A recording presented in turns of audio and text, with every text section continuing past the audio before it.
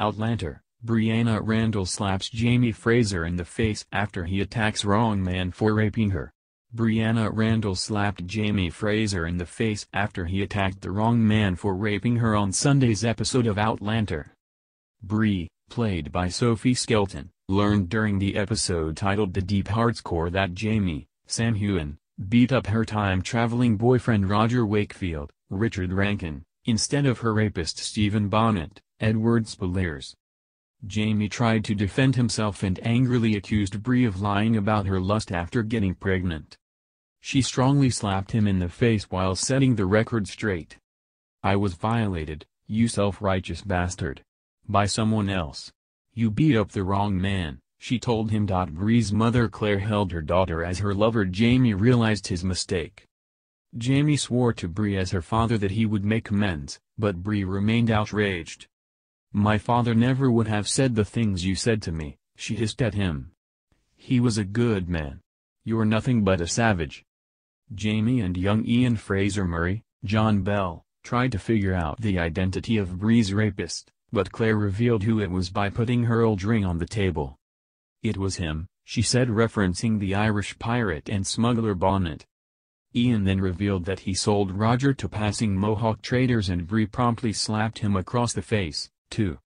Lizzie Wemyss, Caitlin O'Ryan, earlier consoled Bree after she had a traumatic nightmare about her rape and said the man would never hurt her again. You're to beat him, nearly beat him to death, he did, Lizzie reported and he had Ian send him away.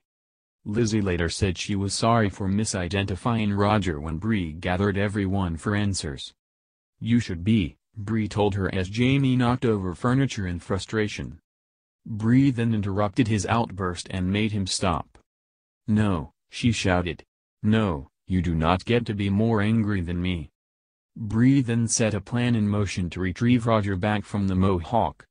She asked Claire to go with Jamie and Ian since Roger would recognize her as a friendly face, but Claire was reluctant to leave her pregnant daughter alone. Jamie suggested Bree and Lizzie stay at River Run and Murtagh volunteered to drive them there and later enjoyed a nice reunion with Aunt Jocasta. Bree also decided to keep her baby after Claire said that she could perform an abortion. If there's even a slightest chance it's his, I'm going to keep it. Not just for him, for me too, she told Claire. And if it's not his, I'll love it anyway. I know I will. Jamie also gave Murtagh orders to find Bonnet. Bring him to me in secret. I'm going to kill him, Jamie said.